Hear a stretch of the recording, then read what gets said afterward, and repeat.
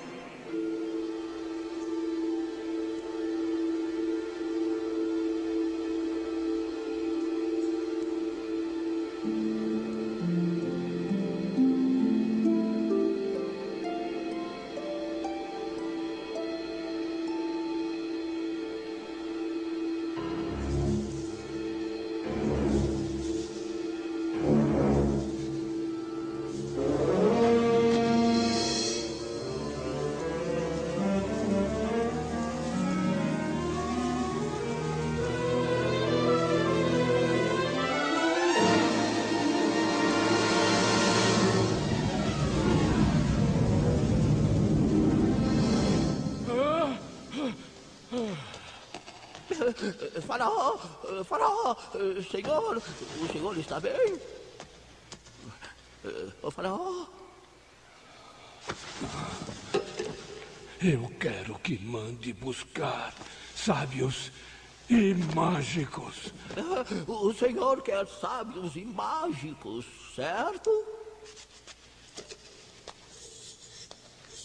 Ah, mordomo. Hum? Tente não esquecer. Esquecer o quê? Oh, oh, os sábios e os músicos. Não são músicos, mágicos. Ah, é, sem dúvida.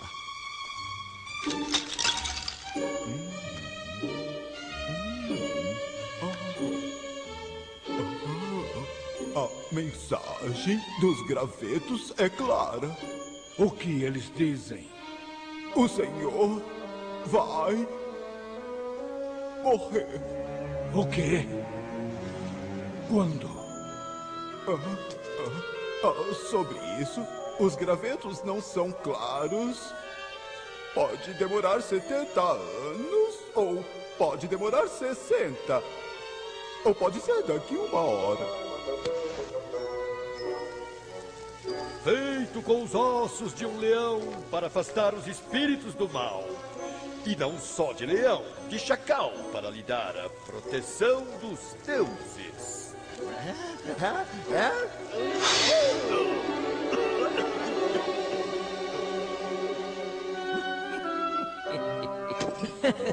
o Deus dos sonhos. Ah, o Deus dos sonhos. Ah, não, não. Esse aqui é o Deus do riso. Ah, e esse aqui é o Deus da lua. Ah, até agora nada de Deus dos sonhos. Eu sei que está por aqui, majestade. O Deus dos sonhos. Onde está o Deus dos sonhos, hein? Já chega! Fora! Fora! Será que não há ninguém no Egito que possa interpretar sonhos?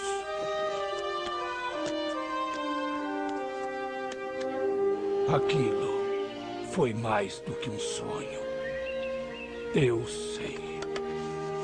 Ah, acabei de me lembrar. Eu sei de alguém que pode interpretar seu sonho, majestade.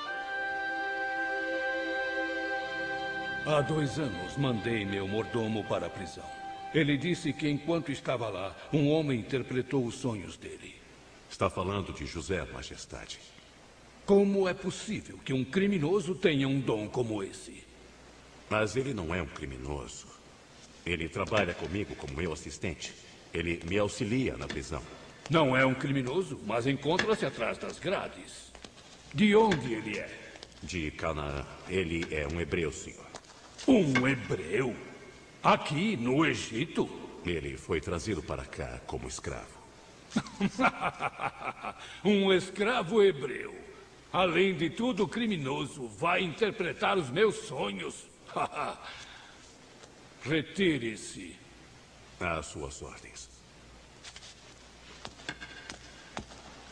Mas permita-me dizer-lhe: eu nunca conheci um homem com tanta capacidade. Desta vez eu vou ceder. Fale. José era o filho preferido de seu pai.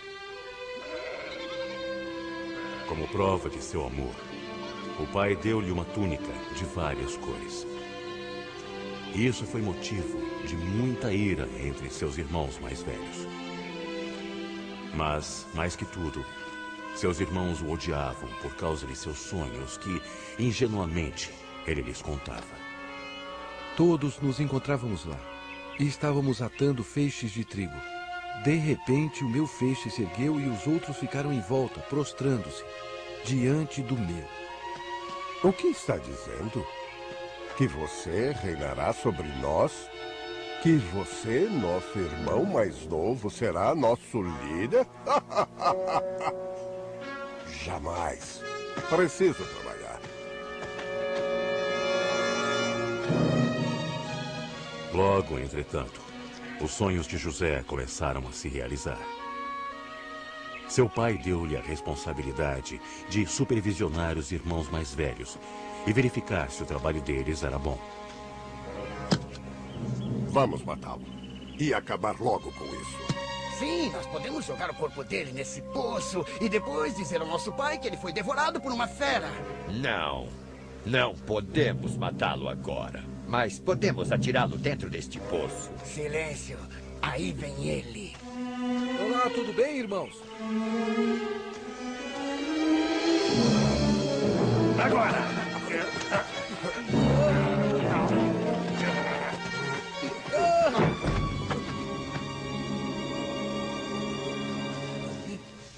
Mais tarde, naquele mesmo dia, após comerem e discutirem o que fazer, eles viram uma caravana de ismaelitas que se aproximava. Querendo se livrar dele, mas sem coragem para matá-lo, os irmãos de José o venderam aos ismaelitas, que o trouxeram para cá, para o Egito, como escravo.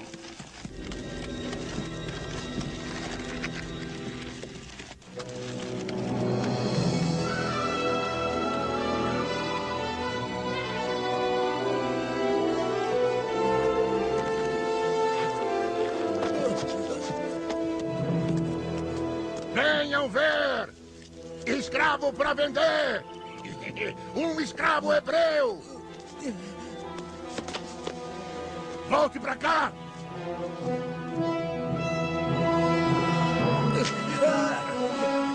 Ei, quanto quer pelo escravo? quanto quer?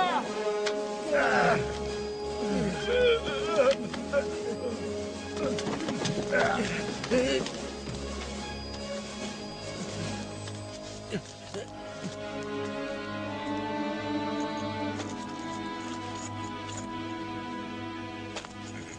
Felizmente, ele foi vendido a um homem bom. Putifar, o capitão da guarda.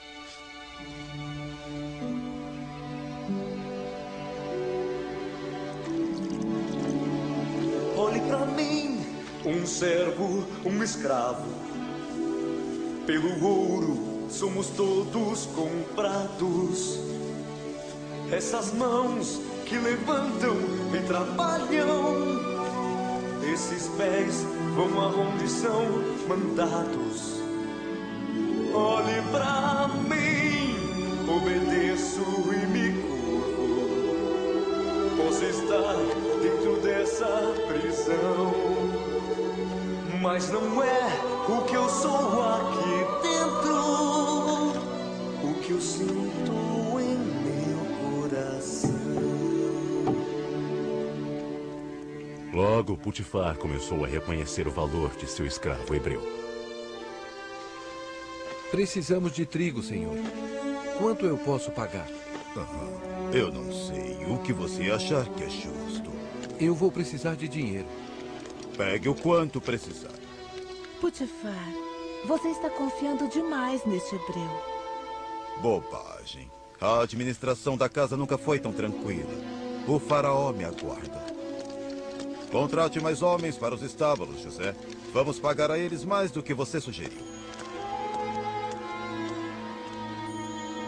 Por que esse hebreu está preso se ele é tão bom? Por causa da esposa de Putifar. está dizendo que. Isso é o que Putifar quer que se acredite. Mas, na verdade, a história é bem diferente.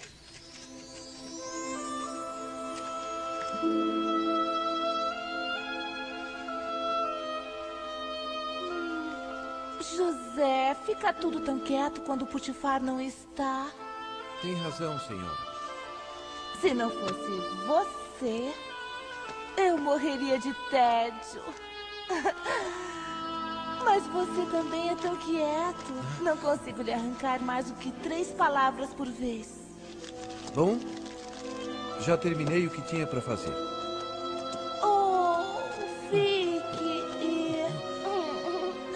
Fale comigo, José.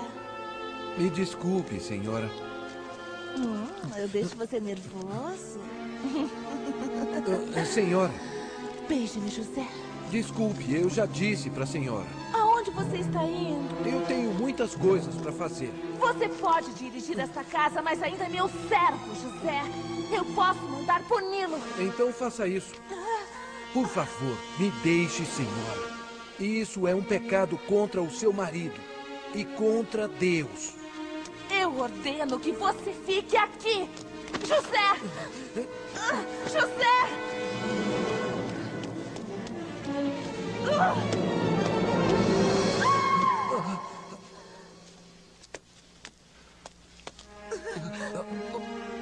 O que foi, senhora?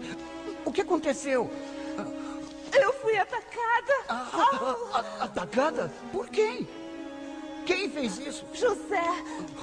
Foi o José. José? Oh, não pode ser. Ah, eu tenho certeza de que foi ele. Veja, esta túnica não é dele.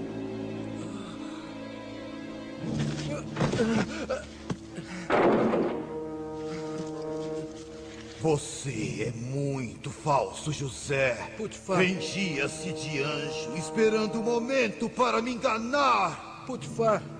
Eu deveria mandar enforcá-lo. Eu sou inocente. Nem meu inimigo era mais culpado. Deve ficar a pão e água. E pode chicoteá-lo se desobedecer. Eu serei libertado, Putifar. Por você ou por Deus. José lhe contou essa história para ganhar seus favores. Ele enganou você do jeito que enganou Putifar. Putifar foi enganado, mas não por José. Cuidado com o que diz. Ele é um homem honesto, faraó. Por que você defende tanto esse José? O que ele lhe prometeu em troca? José é meu amigo.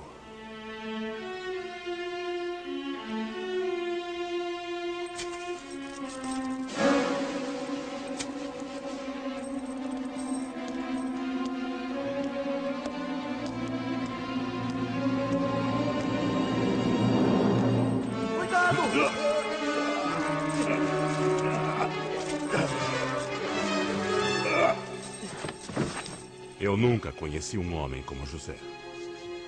Depois de algumas semanas, eu percebi que ele sabia muito mais sobre dirigir uma prisão do que eu.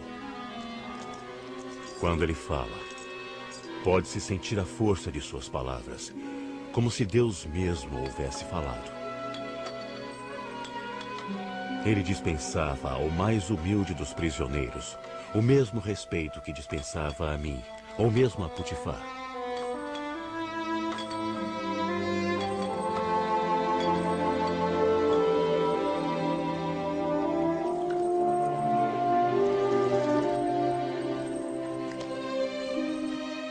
Já se passaram dez anos desde a última vez que ele viu a família dele. E nenhuma vez eu o ouvi blasfemar contra Deus, embora seu coração esteja ferido. O Senhor me pergunta por que eu o defendo tanto? Eu gostaria que todos conhecessem um homem como José. Realmente, esse José parece admirável. E você disse que ele interpretou o seu sonho? Oh, ele interpretou o meu sonho num instantinho. E essa interpretação se realizou? Ou você não se lembra? Oh, faraó, e acha que eu esqueceria? Sem nenhuma dúvida. Olhe, aconteceu deste jeito. O senhor se enfureceu contra mim e o padeiro e nos atirou na prisão. a vida na prisão não é tão ruim. Oh, Aqui, pelo menos, não é. Por que estão tristes? sabe, é que ontem à noite nós dois tivemos sonhos muito estranhos.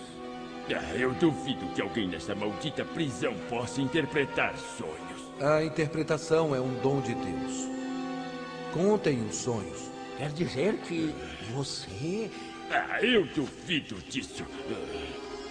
Eu demorei um pouco para me lembrar de tudo, mas contei meu sonho para o José e ele disse que em três dias eu seria libertado e que Vossa Majestade Faraó me restituiria o meu cargo de mordomo.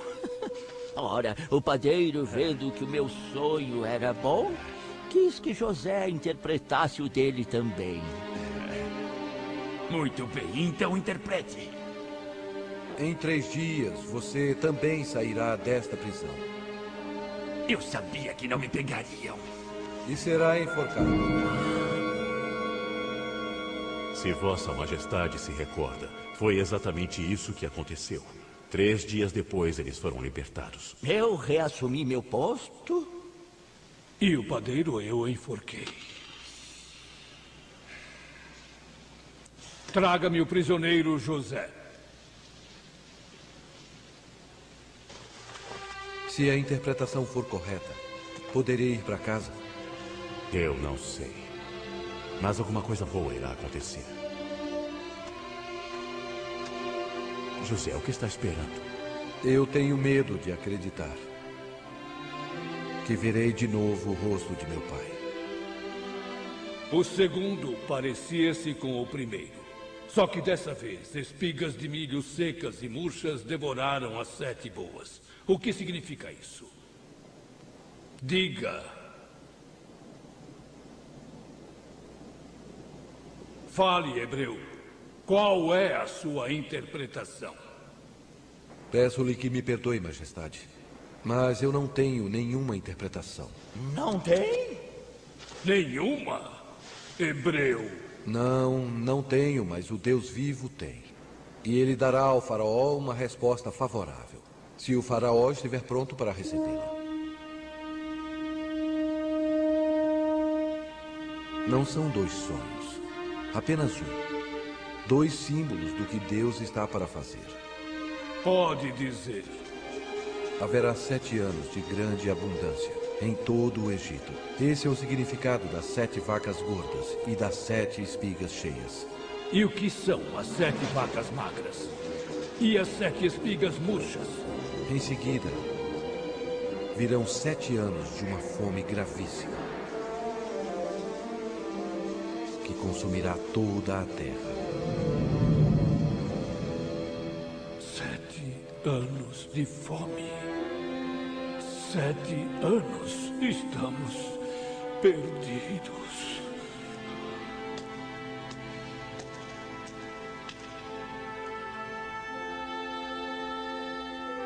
Tudo é possível para Deus. Divida este reino em seções e indique um administrador para cada uma delas. O trigo deverá ser sabiamente estocado. Deverá construir mais celeiros. Durante os sete anos de abundância, a quinta parte das colheitas deverá ser estocada. Há muita, muita coisa a fazer. não sei se sozinho eu conseguirei. O povo espera muito do Senhor. Procure um homem honesto e sábio e ponha-o à frente desta imensa tarefa. Sim, José. Sim. Deve existir alguém que. Não há ninguém tão honesto e sábio quanto você. Daria a um hebreu uma posição tão alta? Sou o Faraó. Eu posso fazer o que quiser. É uma honra, Faraó. Mas o meu pai, a minha família, eu esperei Fique tanto. E ajude meu povo nesse tempo de fome. Desculpe, mas preciso insistir.